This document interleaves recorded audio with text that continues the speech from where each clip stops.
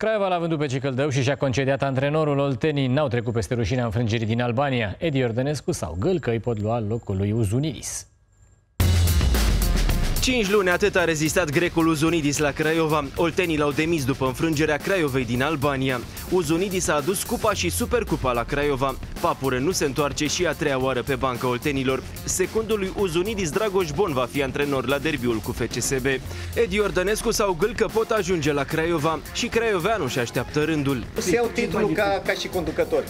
Asta îmi doresc foarte mult sau ca antrenor în viitor, iar momentul lui Craioveanu va ajunge sper nu la 80 de ani.